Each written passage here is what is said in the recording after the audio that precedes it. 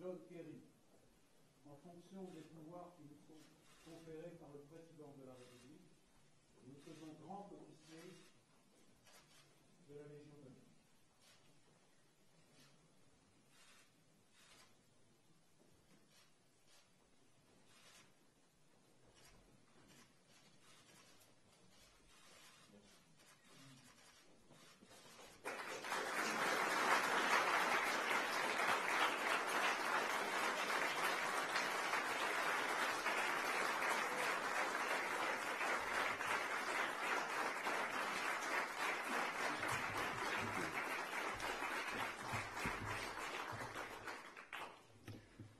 Well, I'm heavier now.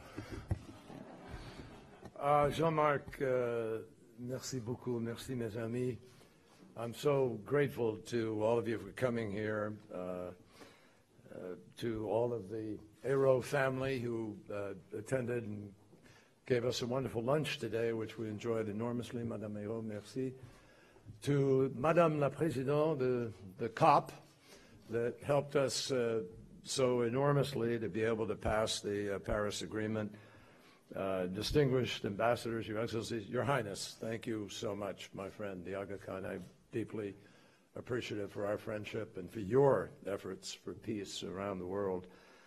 Um, I, I'm really humbled to receive this award. I mean that. This is one of the great distinctions, and I've heard about the Légion d'honneur for years. Who hasn't?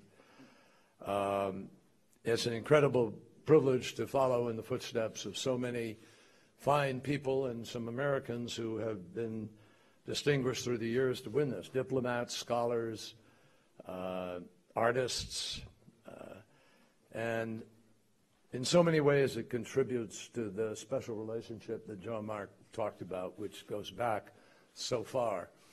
Uh, for those of you who aren't aware, there's a, there's a play on Broadway now about Hamilton.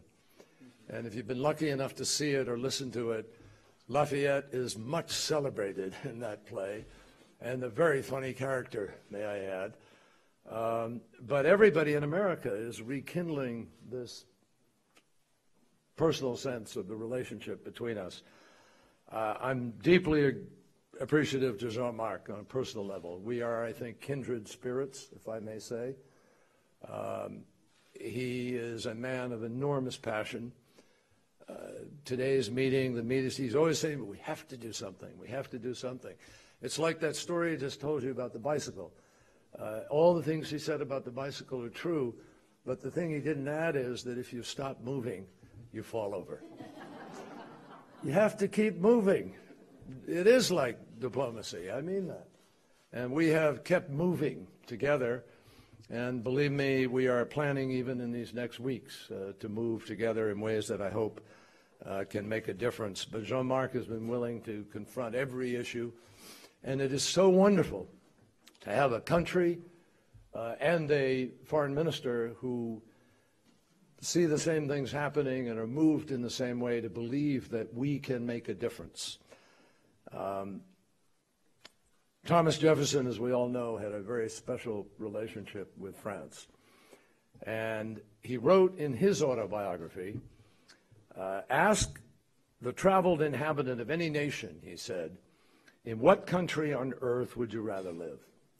And then he said, Certainly in my own, he answered it, but which would be your second choice? France. And he said it would be the second choice for everybody. And many people have attributed him to saying that homme a deux pays, le sien et la France.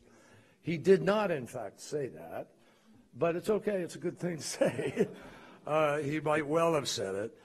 Uh, Jefferson's affinity for this storied country was very well known everywhere, but I think his statement, excuse me, actually conveys something much more than just a mere affection.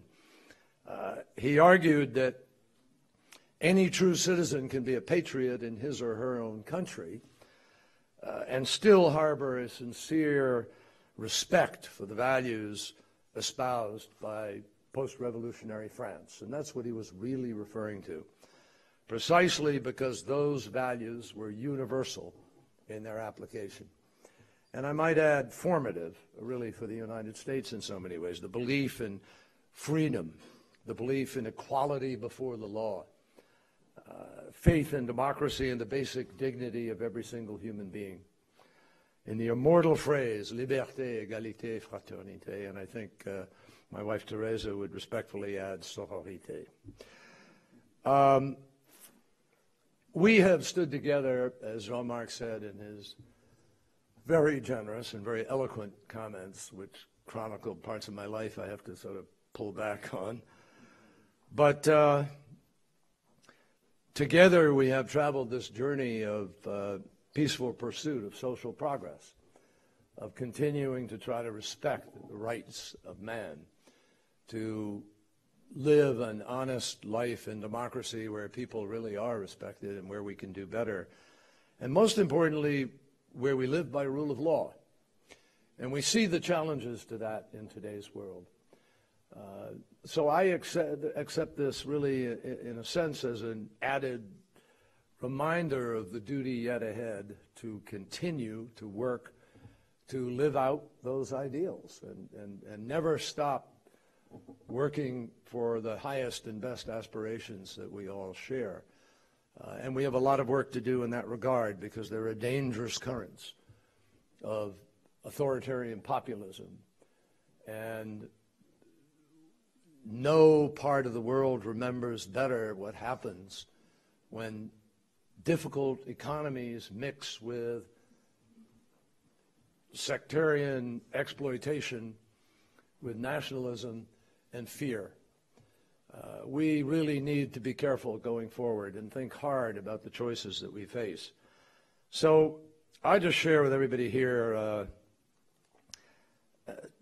we are pursuing diplomacy because the world needs uh, the values that have been espoused by France and the United States since our inception and built on the experience of France.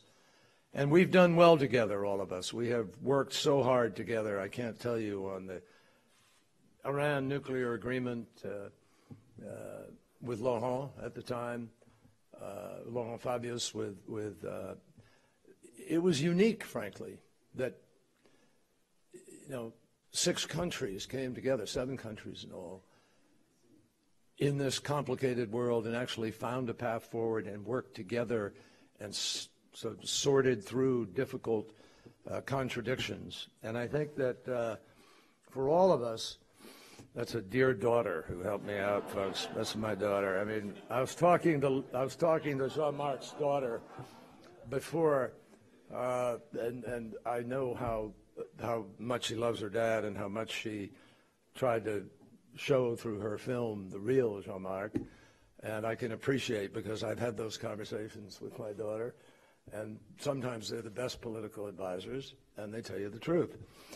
But um, in this day and age, folks, we cannot confuse national pride with national self-sufficiency or think that exclusionary pro- policies are somehow going to solve the problems that we, we face. So let me just be clear, and wrap up quickly here. Uh, in the 21st century, Every country needs partners in order to prosper. None of us move alone. I grew up in an age that Jean-Marc referred to when, in the post-war world, most economies had been destroyed. And we came in with the Marshall Plan, which people in the United States, by the way, did not support initially, did not understand how we were going to turn around and rebuild Germany and rebuild Japan. But look at the results of those investments, what they mean to this entity called Europe as well as to the world. So thinking bigger, trying to uh, provide a better vision for people of what the choices are uh, is not highfalutin, it's not out of touch, it's not pie in the sky. It's what defined both of our countries, and it's why we are who we are, and it's why we are where we are. And so I believe very, very deeply that, uh, uh, you know, we need to uh, maintain our fidelity to those values. I know this is a very loyal man, and he knows what fidelity means. I know France understands that full well. We've uh, weathered great storms together. Uh, I know this is a time of uncertainty. I ask you not to be uh, diminished by the cross currents that are uh, flowing through the world today because I'm convinced, and I really believe this, I see the world, I see the glass as definitively uh, half full, not half empty. And I say that because for the first time in history, severe poverty is under the 10% mark on, on this planet. We are curing diseases we never thought we could cure. If you are a young person born in some deprived place in the world, you are more likely to be fed and more likely to go to school than any time in human history. If you are a mother giving birth somewhere in the world, you are more likely not to die in the bringing to life than at any time in human history. We have food and food product, capacity to grow. But even as we do that, yeah, we've got climate change, all these other challenges. I, I am absolutely convinced that uh, we know the choices we need to make. They're staring us in the face. There's no problem we face that doesn't have a solution. And uh, this will continue to inspire me to stay at it and continue to work in whatever capacity I can. Jean-Marc uh, kindly mentioned my mother and my affinity for France. Uh, it does date back uh, generations in our family.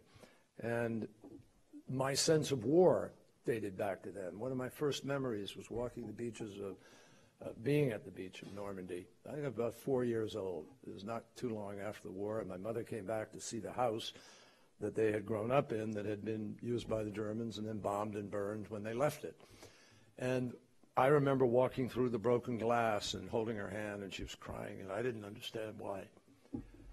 But I do now. And that's really when I began to understand the cost of war and the need for all of us to uh, keep fighting for peace always. Later on in, in, in her life, she became a nurse here, and she was working at Montparnasse, taking care of the wounded. When one night, she was told, uh, incredible that she didn't know, that the Germans were about to march into the city. So she ran home, got her sister newly married, and married a French artist, and they all got on their bicycles and they foraged their way across France, found their way to Portugal, and got on a ship and came. So, merci. And, and uh, married my father, and here I am. Um, she wrote to her future husband at that point in time, they had met in Saint-Brieuc, it is a shock to find a country that had, one has admired and loved crumbling away. So we will not allow great edifices, great institutions, great ideas to crumble away. And I just uh, say thank you to you for this extraordinary honor. Um, I would also say thank you to Napoleon Bonaparte for creating it.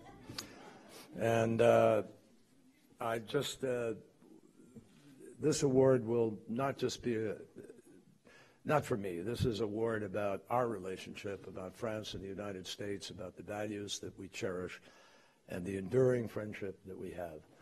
So vive, uh, vive les frites, vive les, you French fries, vive la France, et vive les États-Unis et tous mes amis. Merci beaucoup.